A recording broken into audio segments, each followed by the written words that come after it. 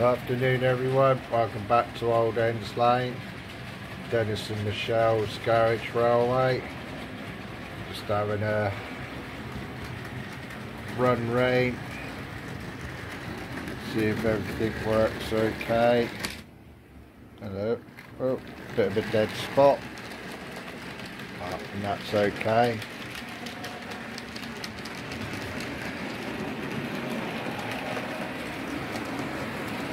Highways have been out this part of the road being took up widened new roundabout in for the bus to go round.